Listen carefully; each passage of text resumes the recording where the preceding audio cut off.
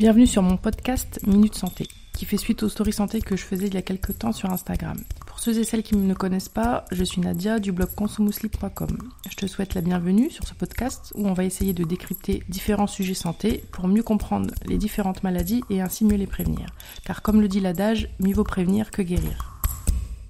Dans ce deuxième épisode du podcast Minute Santé, on va aborder comme thématique la détox digitale. Mais la détox digitale, qu'est-ce que c'est?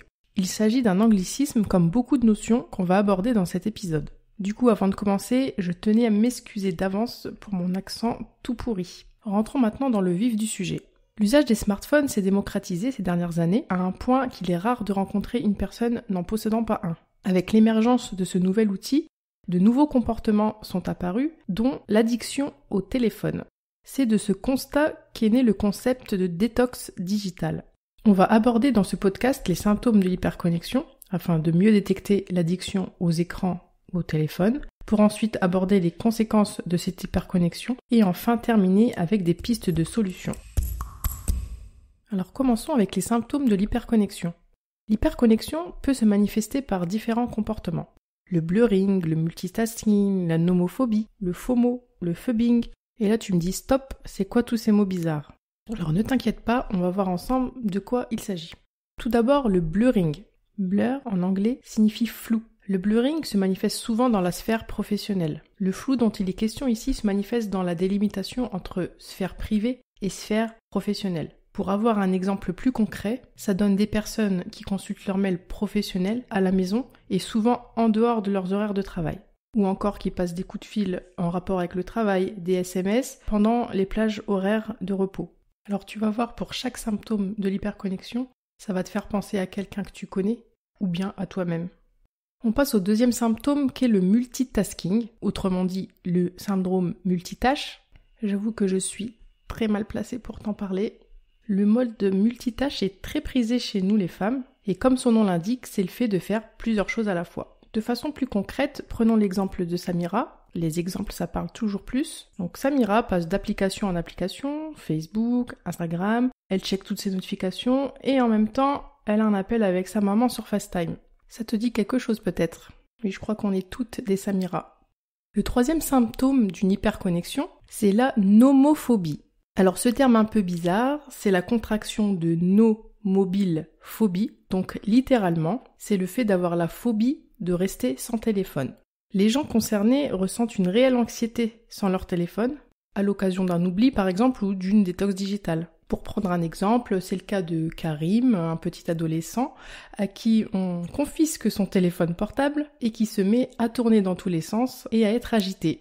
On peut vraiment comparer ça à des symptômes de sevrage classiques aux substances addictives. Le symptôme suivant, c'est ce qu'on appelle le FOMO, pour Fear of Missing Out. C'est tout simplement le fait d'avoir peur de rater une information, une publication de quelqu'un que vous suivez sur les réseaux sociaux. C'est ce qui va pousser donc à avoir une utilisation compulsive du téléphone. On va prendre exemple de Linda cette fois-ci, qui est accro à ses notifications, qui scrolle son écran de façon compulsive qui répond de suite à la cloche qui lui indique que son influenceuse préférée a sorti une nouvelle vidéo sur YouTube. Bref, Linda veut faire tout tout de suite et ne veut rien rater. Enfin, un des derniers symptômes de l'hyperconnexion qui évoque le besoin de faire une détox digitale est le phubbing. Le mot phubbing est une contraction entre le mot phone et snoobing. Donc, comme son nom l'indique, il s'agit du fait d'utiliser son téléphone tout en étant en présence d'une personne en face de nous. Donc c'est le cas de Claire qui est sortie au restaurant avec son mari et qui, au lieu de lui parler, regarde les dernières infos sur Facebook. Ou le cas de Khadija qui, lors d'une rencontre entre amis, plutôt que de profiter du moment présent, préfère s'immerger dans son téléphone. Toute ressemblance avec des personnes existantes n'est que pure coïncidence. Donc on vient de voir les principaux symptômes d'une hyperconnexion. Si tu as un ou plusieurs de ces symptômes, c'est que tu es très probablement hyperconnecté. Il faut savoir que cette hyperconnexion n'est pas sans conséquences, et tu as déjà dû sûrement l'expérimenter. Les conséquences de l'hyperconnexion sont aussi des symptômes qu'il faut voir comme des signaux d'alarme. Et c'est ces mêmes symptômes qui devraient nous motiver à entamer un processus de détox digital. Outre les conséquences environnementales que peut avoir une hyperconnexion, Le fait d'être trop connecté peut avoir des conséquences négatives sur notre cerveau, dont la fameuse charge mentale dont tout le monde parle. Cette charge mentale va être secondaire par exemple au mode euh, multitâche, mais aussi à la surcharge d'informations que se voit traiter notre cerveau en un laps de temps restreint. Si cette surcharge mentale persiste dans le temps et que l'hyperconnexion ne cesse pas, elle peut se compliquer d'un état de stress chronique qui peut lui-même se compliquer dans les cas extrêmes d'un syndrome d'épuisement. Il a été même constaté dans certaines études qu'une utilisation trop importante des réseaux sociaux augmente le risque de dépression. En plus de ces désordres sur le plan de la sphère psychique, l'hyperconnexion peut aussi occasionner des troubles du sommeil, des troubles de la concentration et de la vigilance. Alors tous ces symptômes ne sont pas exhaustifs, il en existe bien d'autres.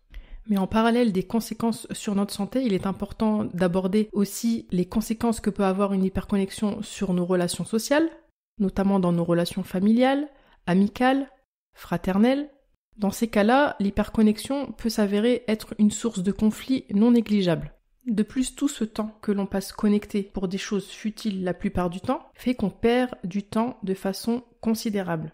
C'est un temps qu'on pourrait utiliser plus bénéfiquement pour son propre bien-être, pour le bien-être des autres, pour sa famille, pour parfaire sa relation à Dieu, pour développer sa spiritualité ou encore tout simplement pour vivre le moment présent. Dans cette deuxième partie du podcast, on va aborder quelques pistes de solutions pour diminuer son temps de connexion. Avant d'entamer un processus de détox digital, il faut d'abord prendre conscience de son hyperconnexion et ne pas rester dans le déni. Une fois cette prise de conscience effectuée, il convient de trouver une source de motivation. Je peux vous donner des exemples, comme par exemple se dire que passer moins de temps sur mes écrans va me permettre de passer plus de temps avec ma famille, que j'aurai plus de temps pour lire, j'aurai plus de temps à consacrer à ce projet qui me tient tant à cœur, plus de temps pour ma spiritualité, etc. La phase suivante va consister à se fixer un objectif de déconnexion. Pareil, cet objectif va être variable d'une personne à l'autre. Il peut s'agir d'une journée sans téléphone par semaine, ou une déconnexion totale à partir de 20 heures, ou le fait de consulter que deux fois par jour ses mails, de ne pas dépasser 30 minutes sur les réseaux sociaux par jour, etc. Le but, c'est d'essayer de viser avec cet objectif ce qui te prend le plus de temps quand tu es connecté. Si tu es du genre à passer trop de temps sur les réseaux sociaux, fixe-toi un objectif concernant les réseaux sociaux. Pour éviter d'être trop tenté pendant cette phase de déconnexion, prévois à l'avance ce que tu vas faire pendant ces phases. De la lecture, du ménage, de la cuisine, peu importe. Et une des phases les plus importantes dans ce processus de détox digital est de se récompenser à chaque fois que tu remplis cet objectif de déconnexion journalier. Parfois, les simples conséquences naturelles de cette déconnexion constituent une récompense en soi. Pour plus de conseils et pour aller plus dans les détails, je te conseille de lire mon article sur mon blog consomuslim.com sur le sujet intitulé 9 conseils pour te sevrer de ton smartphone. Tu as maintenant toutes les clés pour entamer une détox digitale. Tu sais reconnaître les différents symptômes d'une hyperconnexion, que sont le blurring, le syndrome multitâche, la nomophobie, le FOMO ou encore le phubbing. Tu pourras agir en conséquence dès que tu en repères un ou plusieurs. Pour te motiver à entreprendre cette détox digitale, rappelle-toi des effets négatifs de cette hyperconnexion, qui sont la surchange mentale, l'état de stress chronique, le surmenage, les troubles du sommeil, les conflits familiaux, etc. Et pense aussi à ce qui te motive à te déconnecter, passer plus de temps en famille, avec tes amis, passer plus de temps pour ta vie spirituelle, etc. etc. Il ne te reste plus qu'à passer à l'action maintenant.